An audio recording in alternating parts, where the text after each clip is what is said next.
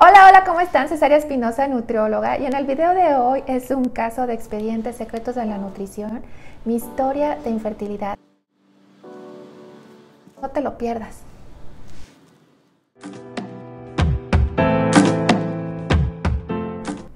Este video ya se los debía desde hace mucho tiempo, pero la verdad sí quise hacerlo porque sí quiero compartirles mi historia ya que sé lo que sienten las parejas cuando están pasando por este proceso y no sé, como que luego escuchar estas historias como que ayuda. Y también porque es un tema más común de lo que nos imaginamos. Estaba leyendo que de una de cuatro parejas sufre de infertilidad. En México de 4 a 5 millones y alrededor del mundo de 80 millones de parejas sufre de infertilidad. Según expertos, cada vez hay mayor infertilidad año tras año debido a que las mujeres nos estamos embarazando con mayor edad pero también un estudio de British, British Medical Journal dice que los hombres han disminuido su producción de espermatozoides hasta un 45% en los últimos 50 años. Y a esto se le suma también que tanto para mujeres y hombres estamos mayor expuestos al estrés, a mayor consumo de sustancias tóxicas, a mayor contaminación ambiental y por supuesto a la mala alimentación. Pero bueno, en esta ocasión te quiero contar mi historia como si te la contara una amiga así, tal cual me pasaron las cosas. Pero sin antes mencionarte que no tomes esta historia como una referencia para un tratamiento médico de infertilidad. Simplemente es como escuchar una experiencia. Y bueno, todo comenzó cuando mi esposo y yo pues decidimos este, tener un bebé. Y me acuerdo que el primer mes fue como que, ah, bueno, pues es algo normal. ¿Quién, quién queda embarazado el primer mes, no? Y así pasó el segundo y el tercero y el cuarto. Y ya cuando pasaron seis meses, pues yo como que sí me empecé a preocupar, sobre todo por mi edad. Eh, yo en ese momento tenía 36 años y pues sí me preocupaba esa situación y también por mi historial clínico que no me ayudaba mucho. Como ya les he dicho en otros videos, pues yo soy propensa de sufrir ovario poliquístico. Y a los 29 años me operaron a mí porque me salió un quiste encima del ovario que me explotó, que Afortunadamente no me afectó mi ovario porque estaba encima, pero el doctor sí me llegó a mencionar algunas situaciones de que si yo buscaba embarazarme en un futuro, lo más probable es que iba a necesitar también otra vez un proceso quirúrgico para que quitara endometrio porque tenía como que cierto grado de endometriosis y que también a lo mejor podían haber hecho adherencias con la, con la cirugía. Entonces como que pues yo sí estaba preocupada por la edad y por mi historial clínico pero pues también el sistema de salud de aquí de Canadá, no sé, a lo mejor es muy diferente, yo no me termino de acostumbrar, pero siento que me ponían muchas trabas. Por ejemplo, el doctor pues nos dijo que teníamos que esperar un año antes de buscar un especialista. Y pues yo que sepa, si ya tienes 35 años como mujer, lo más que puedes esperar son seis meses para buscar un especialista. Entonces, pues el doctor nos decía que no, que así era protocolo de Canadá y pues nos hizo esperar un año. Yo en ese inter le decía al doctor que si me podía hacer estudios de hormonas para ir checando qué es lo que estaba pasando y pues el doctor me decía, no, no tiene nada que ver las hormonas con la infertilidad. Así me decía. Y bueno, pues estarle tanto diciendo al doctor, por fin me manda a hacer un estudio de hormonas. Para esto, pues el doctor nunca me dijo, oye, te lo tienes que hacer en tal día de tu ciclo o algo así, no. O sea, me dijo, puedes hacerte este estudio cuando tú quieras. Y no sé, yo que sepa, es muy importante sobre todo ver la progesterona, cómo está los primeros días de tu ciclo y después del día 14. Y pues toda esa situación como que me frustraba, pero bueno, mi esposo me consolaba diciéndome que no me preocupara, que ya pronto íbamos a ver un especialista, que seguramente iba a ser diferente. Y pues ya, pasó un año y después pasaron otros seis meses para que nos dieran consulta con la especialista. O sea, pasó un año, seis meses. Y pues sí es medio frustrante porque, y más como mujer que va pasando mes con mes y cuando llega el periodo, pues como que sí es un golpe, pero bueno, llegamos con la especialista y la verdad pues no fue nada diferente porque ya la especialista nos hace unas preguntas y nos dice, les voy a mandar a hacer estos estudios, que aquí le pongo los estudios, por más que quise grabarlo, el nombre no me salió y lo grababa, pero bueno, mejor se los dejo aquí.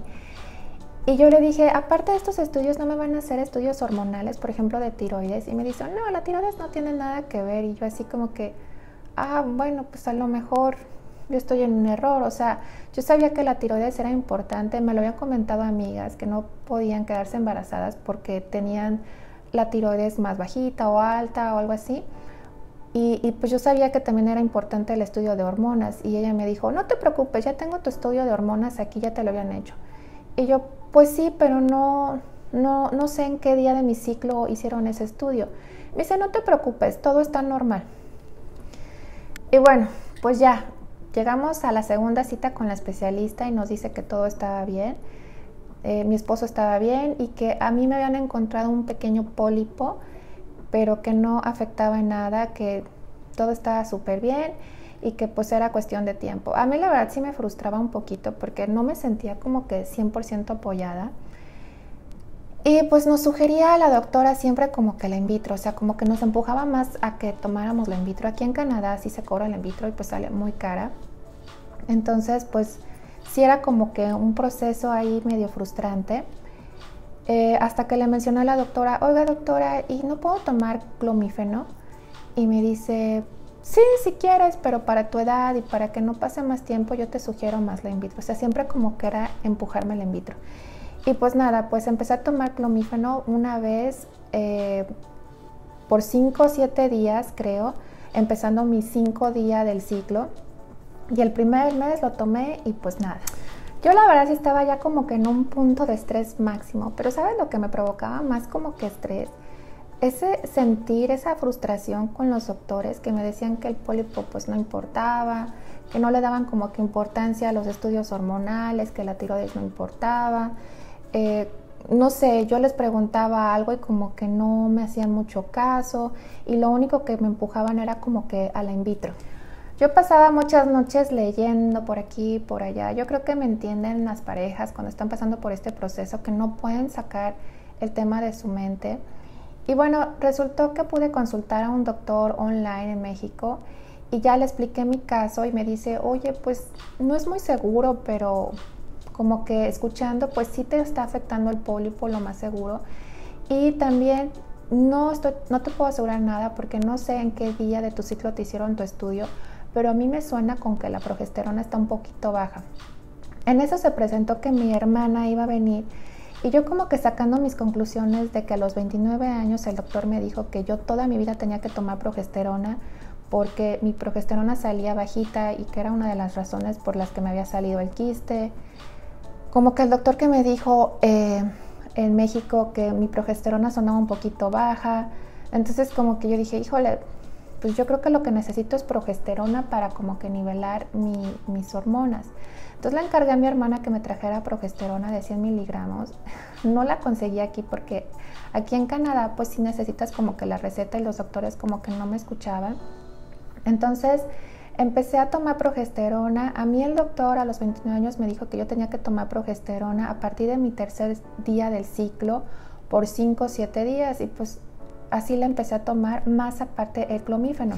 Y pues ese mes nada. Pero resultó que me tocó cita con la doctora y yo le comenté, oiga doctora, estoy tomando progesterona, así como media.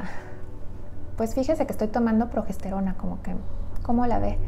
Y ya la doctora me dice, bueno, pues es tu decisión, yo no te la mandé, pero te voy a decir una cosa, la estás tomando incorrectamente, tú la deberías de tomar a partir del día 14 de tu ciclo, no antes. Entonces yo dije, ah, bueno, pues voy a hacerlo así. Y pues ya ese mes tomé el clomífeno y la progesterona, pero después del día 14 de mi ciclo y resulté embarazada. Yo la verdad no estoy 100% segura si fue la progesterona. A mí me late que sí, pero también ese mes hice unas cosas diferentes, como también hice el famoso Castor Oil Pack, que yo te recomiendo que lo googlees para que veas cómo se hace. Ese mes también fue la primera vez que lo intenté, dicen que pues es milagroso. También ese mes mi esposo por primera vez tomó vitaminas como que más especializadas para la infertilidad. Eran vitaminas, eh, no era como que algo que yo viera que era un medicamento, sino eran puras vitaminas, pero sí recuerdo que mi esposo como que se sentía muy débil y orinaba como que muy amarillo. Y también ese mes mi esposo y yo como que fue de, ¿sabes qué? Ya hasta aquí como que damos un break, ya descansamos, eh, ya no queríamos seguir con el proceso, no estábamos como que un poquito derrotados. Me acuerdo que esa vez mi esposo me dijo, ¿sabes qué? Mejor hay que adoptar otro, otro tito. Y ya, vamos a ser los cuatro. Y no sé, o sea, a lo mejor más adelante sale la oportunidad de que podamos hacer una in vitro, a lo mejor en México viajar o algo así. Y como que esa plática con mi esposo como que nos relajó, o sea, ya no sentimos como que la presión, fue como que ya, o sea, hay que fluir, si, si pasa bien y si no, pues también. Y pues no sé, a lo mejor todo eso como que hizo para que yo quedara embarazada. Y pues así pasaron las cosas, la verdad, yo sentí muy frustrante el proceso porque nunca me sentí como que apoyada con un doctor, no sentía que resolvía mis dudas yo sentía que tenía que estar como que empujando a los doctores, no había un doctor que me, me, fuera como que guiando un camino, incluso hasta para hacerme las, las pruebas de ovulación, pues nadie me lo dijo, o sea, yo fui como la que, ah, yo me tengo que hacer las pruebas de ovulación, nadie me las explicaba en qué momento del día era mejor, eh, yo todo eso como que leía, nadie me explicaba cómo leer las, las, las pruebas de ovulación, que si salían más claritas sí contaban, pero pues era como que formal. O sea, nadie me explicaba nada, yo todo lo tenía como que ver. Entonces todo ese proceso fue muy, muy frustrante.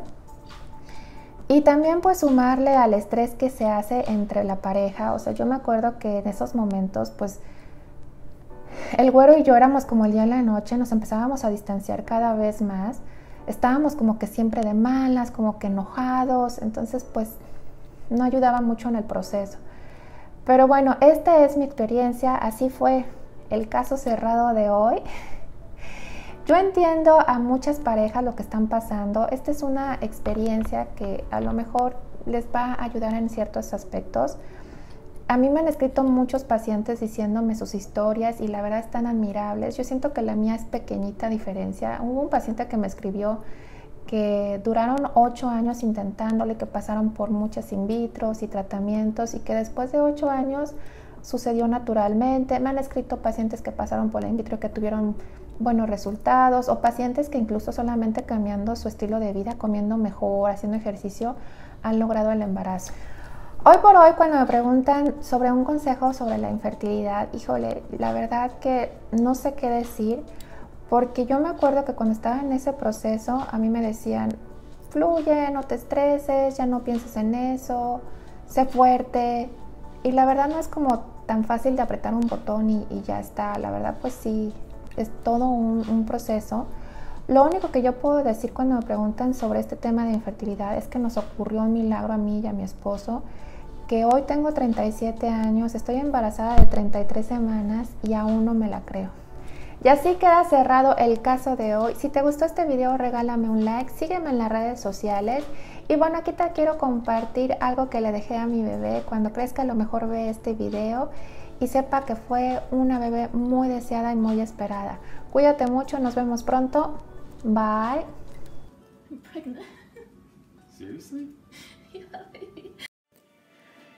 Querida bebé, cada vez que pienso en ti, mi corazón late y sonrío.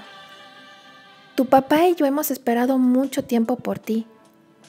Y sí, sabes, por un tiempo estuve solita, pero después la vida me unió a tu papá, quien es mi mejor amigo ahora.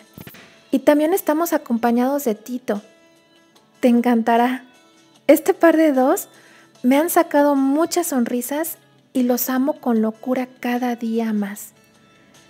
Nuestra vida juntos ha estado llena de aventuras y no podemos esperar a que te unas a esta.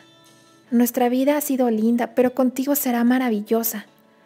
Bebé, la vida es bella, emocionante, divertida, desafiante. Y sí, la vida te hará ponerte de rodillas a veces, pero también te hará levantar tu frente y seguir adelante. Estoy segura que te encantará porque está llena de amor. Gracias, mi bebé.